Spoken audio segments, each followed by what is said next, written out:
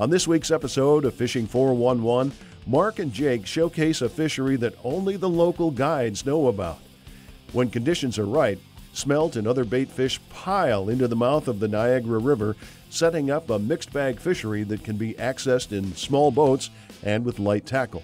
Mark and Jake use Yakima bait maglip plugs trolled using offshore tackle planer boards. Keeping six lines in the water is next to impossible, and the fish are not just sporty, they are worthy of bragging rights.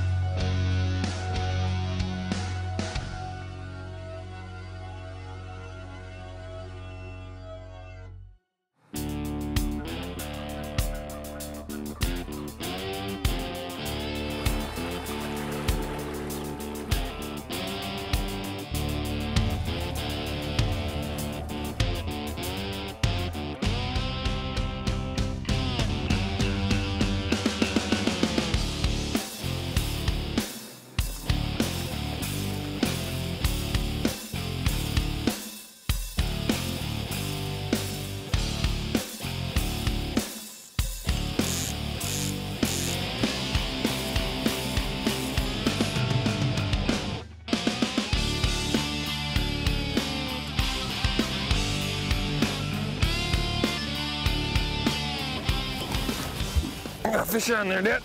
I'll take it for you. Oh. Hooked Something up. not, something not fair about that, Jake. I was messing with a planer board and you get my fish. Oh. Sun's coming up on the big Lake Ontario. And I'll gladly take your fish, Dad. Oh, I think I might have made a mistake. Oh. Try and catch up to him. He might just came off. No, he's he's just spunky. Holy cow. Look at him running all over the place. Want to make sure we get this over top of that for you. Don't forget to check the drag on that, Jakers. That's Oh yeah, the drag's nice and loose.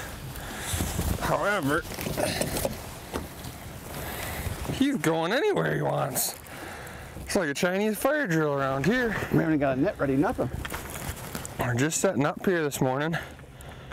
And uh, we're fishing the mouth of the Niagara River today, doing something that we've never showcased on Fishing 411 in this area. And the, the weather's perfect. All the conditions have just set up perfect for shallow water fishing with maglip. And we're going to show exactly how we're doing this today. But right now, my hands are full. Take your time, son. I got a landing net issues. Whew, this fish is just screaming. He does not want to come to the boat. I saw a flash of him, and it was a pretty silver flash, Dad. Talk about a cluster this morning. We didn't get our lines in the water yet, and we get we get fish going on. Oh yeah, it's Oh, nice. It's a good silver fish. Nice king. So looks like you did pick up that inside board line, but that's all right. It's hard to tell these ones where they want to go, man. They You just got that right. We have not got this fish under control yet, so. let's see if I can get him to swing around. Get a little closer, kid. I gotta get back in this corner. Oh, there we go. oh my goodness. It's gonna take you the rest of the morning to untangle this mess, but you got him, kid. Good job. Good job, Jakers. Oh, baby. Let's show this fish off, Dad.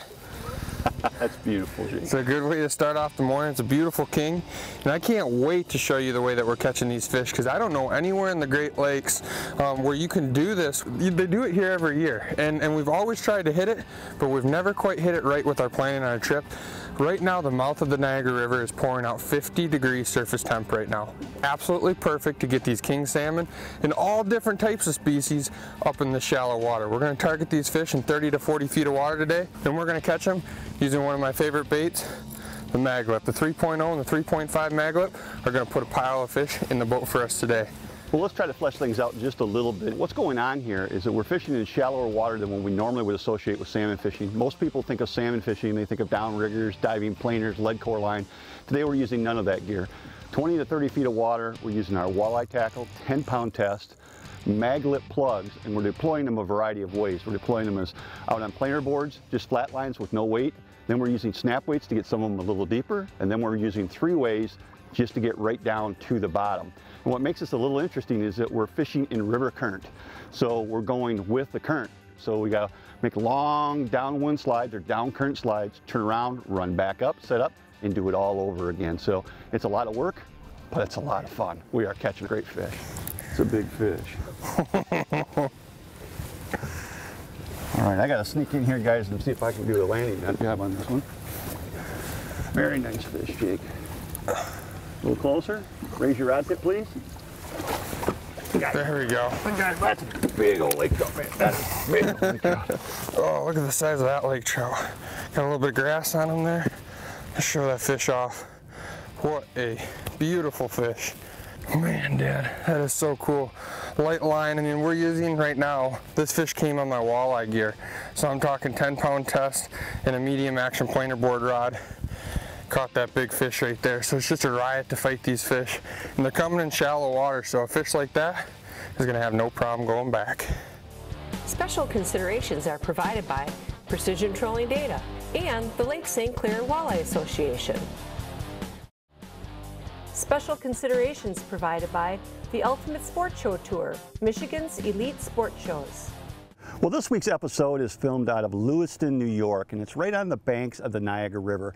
We've been here many times before, and the reason we keep coming back is because the Niagara region has such great fishing opportunities. Lots of different species, lots of different ways to catch them. If you're an avid fisherman and you're looking for a great destination, you just can't beat the Niagara region. What do you do when you got two fish on at the same time? Kind of judge which one's the bigger one? I took the one that was closest. I'm not sure I got the biggest one on here, but I definitely got one on. Double header action in the Niagara Bar. Whoo, baby. This looks like a coho to me. He's right, coming in quick and easy. What do you think of that, Jake? I tell you what, I'll even do for you, Dad. I'll net this one scoop that quick, one? and then I'll let you get your outside fish. Is it a small king or is it a coho? I can't tell this yet. Looks like a coho. That'll be a good eating fish. I'll show your fish off though. Oh, you show my fish off. I'm gonna go up here and uh, double up. Oh man, this is so much fun. And people wonder why we continue to come back to the Niagara Bar year after year. You can't get this kind of fishing anywhere else in the Great Lakes. A mixed bag, kings, cohos, lake trout, brown trout, and lots of them. It's pretty phenomenal.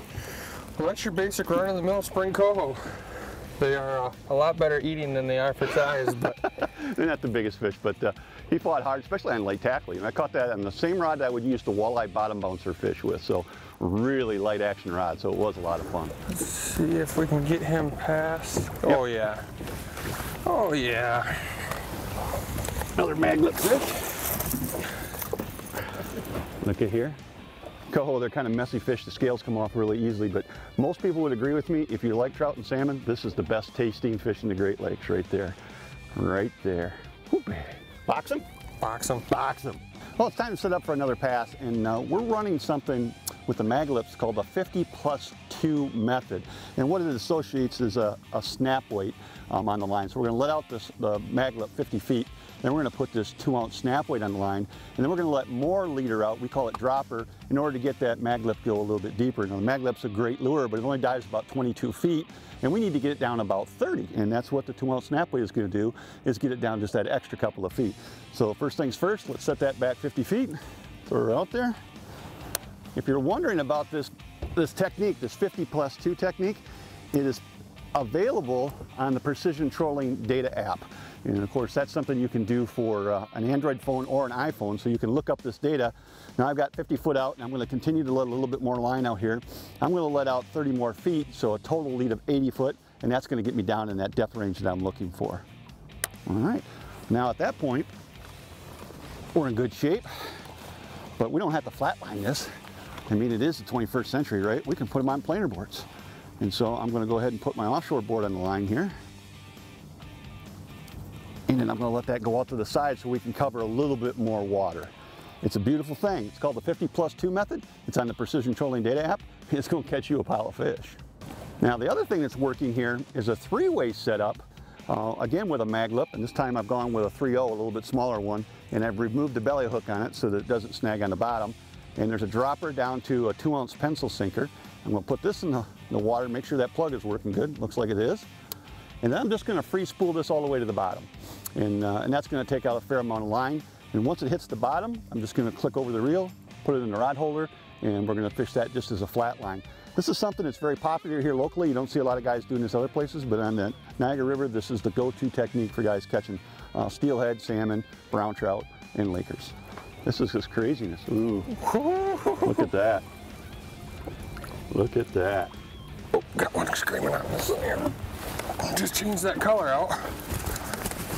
That must have been a good call. Mine just pulled off. You just pulled off? Yep, unless, unless he's running at the boat. No, he's running at the He's boat. running at the boat. He's running at the boat.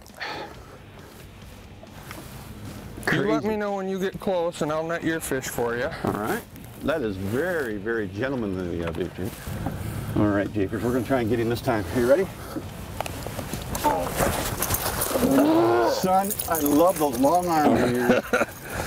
You know, there's just the two of us, Dad and I, fishing today, so we got our hands full. I literally had a, I'm fighting a fish right now. I had to set this rod back in the rod holder, and I got just a screamer on there. You can see that drag. But I had to put that rod back in the rod holder to net my dad's big king, so then I can pull this rod back up. And we got one literally hanging there. I mean, you just talk about fish. There are so many fish piled in the mouth of the Niagara River right now. Whew. Beautiful fish. One more second. Nice. I'll call that a beautiful double. Double header Chinook Kings in the springtime.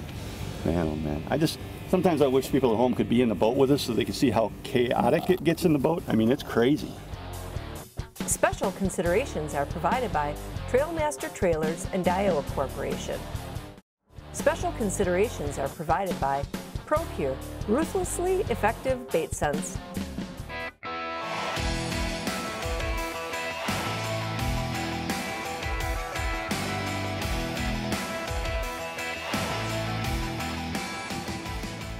Eagle Claw presents the 411 on fishing. Hey, this is Rob Barnes with Offshore Tackle. Just wanted to show you a couple tricks that'll help you improve your game with trolling. So some of the main spreads that we use in Great Lakes trolling is trolling live bait rigs like spinners and crankbaits. So we're gonna take a look at some general setting points that'll get you started for detecting lighter bites and the key bites coming in on different presentations. So we'll flip the board around. The tattle flag is set up this way, and we're gonna start with what I call the general crankbait. So if you're running deep diving crankbaits, I generally set the front of the spring here into the first peg here, and then what I call the two hole on the flag. Well, that'll give you just enough sensitivity when you're doing those general trolling speeds from one and a half to probably two and a half miles an hour to detect strikes. So a good spinner setting for running half ounce, quarter ounce weights is I move down to the second hole on the board. Go ahead and insert that there. Now I'm actually moving this setting to a lower position within the flag, what I call the zero hole. This will let me pick up any weed ticks that I'm running the spinner across, any perch bites, or very subtle bites from walleyes. Sometimes when they bite light, you gotta feed the board back to them, sweep it and close the deal. So in closing, using a tattle flag is gonna help put you more fish in the boat because you'll be able to detect light bites from the target species, weeds, and also non-target species. So definitely use these points as a general starting point to fine tune what your baits are doing when trolling, and ultimately you'll find yourself more success on the water. So we mentioned that we're fishing the mouth of the Niagara River, but I really never said why are these fish here? Uh, when you think of king salmon, you think about fish that are way offshore, fish that are super deep. Why are these fish in this 20 to 30 foot of water? It has everything to do with food. You got to remember, a king salmon has one thing on the brain, and that's food. These fish get upwards of 30 pounds and only a four-year lifespan, so they eat and eat and eat. And right now at the mouth of the Niagara River, there is a ton of bait, and the water temperature is perfect. The surface temp is 50 degrees. There's a lot of bait it's pretty much the perfect situation to have king salmon move up to the mouth of the river. Now what we have when you look at this area, especially in the Lewiston, New York area, is you're going to see coming out of the Niagara River, it's deep, and then it comes up to a shallow shelf, and that's where these fish seem to be. They're up on the flat in the shallow shelf. If you go way offshore, you're going to find something they call the Niagara Bar, and that's where it drops back off deep again, and I'm sure there's kings there right now as well. But because there's a lot of bait in the shallow water, there's a lot of king salmon all piled into this small area. What we're doing is we're going with the current coming out the mouth of the Niagara River. So we can't really turn around and go back because then we're fighting the current the whole time. So we'll just pick our gear up, run back up, and the second go around, I think we're gonna speed up a little bit. Dad, he's right here, but he's really green. I gotta get a landing in here, son. There, I think I got him back. Whoa. when you're fishing for king salmon with this light of line, you don't tell them where to go, they tell you where they're going. And you hope that you can keep them out from away from the boat. I think I might have gave you some bad advice on the electric motor gear. Because now he can go wherever he wants to go. Whew. This fish is whipping my butt, Dad. He's all over the place. Look at that king. Beautiful fish. What a beautiful fish. I'm just awestruck by this. Absolutely awestruck by this.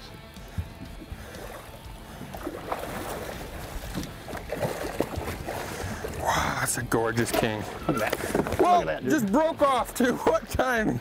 You get him in the net? Yeah, I gotta do that. Look at that. That's a big king. Broke him off at the last second, right That's when you put big him in the net.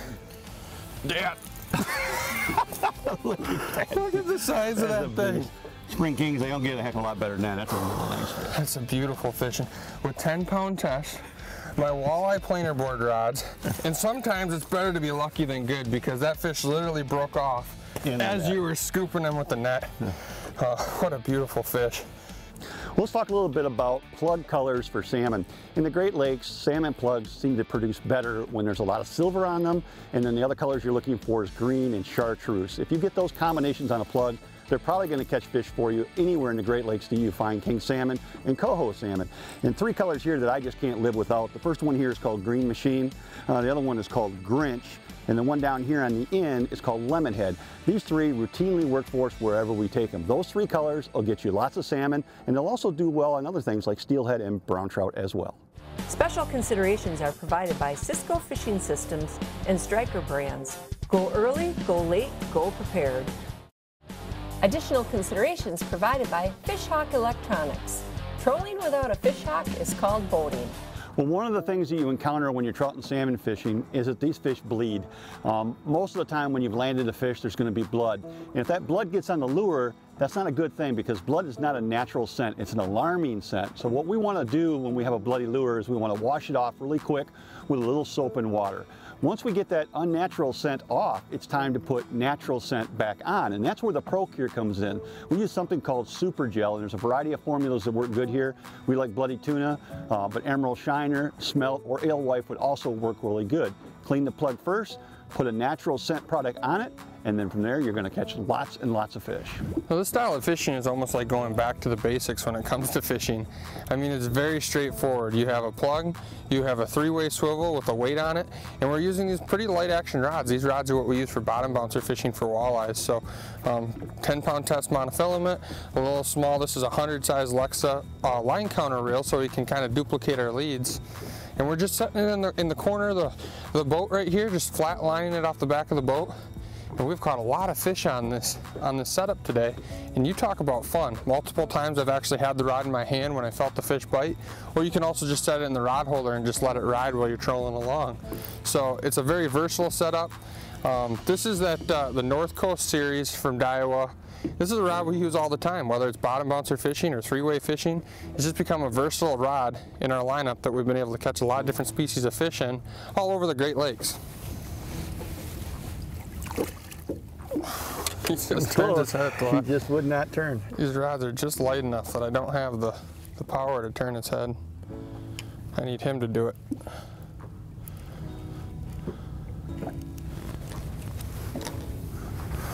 Come on, baby.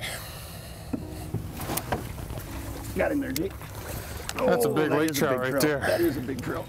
You know, one of the things that you're going to see when you come to Lake Ontario is just the average size of these fish. I mean, that is a gorgeous lake trout. That's high teens. You're talking about a fish that's, you know, 36, 37 inches would be my guess. That's a gorgeous lake trout, and it. This is just a dime a dozen here. We catch so many lake trout that size, and all the traveling we do, that is a big lake trout anywhere you go. Oh, baby. We got a little competition going on here between Jake and I. He's been holding his, uh, his rod in the hand because he's been getting bites doing that. I put mine in the rod holder. So he's gotten three bites to mine, but, uh, but mine hooked up. oh, man, are we having fun today? Fun, fun, fun. Well, not surprisingly, um, early on, the salmon stuff was just crazy. Low light is when those salmon are going to be the most active, especially in shallow water. But as the day has worn on, it's kind of nice. These uh, lake trout are pretty entertaining, and we've got a lot of lake trout here as the sun has gotten up. I'm not complaining about that. They fight good, and they are abundant. I think I got him under control this time, Jake.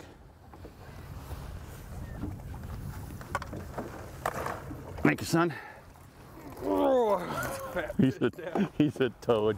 Boy, these fish are healthy. Man, oh man. Hey, my name is Mark Romanack. You've been watching Fishing 401. I hope you enjoyed today's show. It certainly is a different slant on salmon and trout fishing. We'll see you here, same time, same place next week. Closed captioning is provided by Lakeside Motorsports, Michigan's premier marine and power sports company. Fishing 411 is brought to you by Offshore Tackle, Lowrance Electronics, Starcraft Marine, Yamaha Outboards, Yakima Bait Company, Niagara Falls, USA, Smooth Moves, and Jay's Sporting Goods. From away from the boat. I think I might have gave you some bad advice on the electric motor, Jake. Because now he can go wherever he wants to go. This fish is whipping my butt, Dad.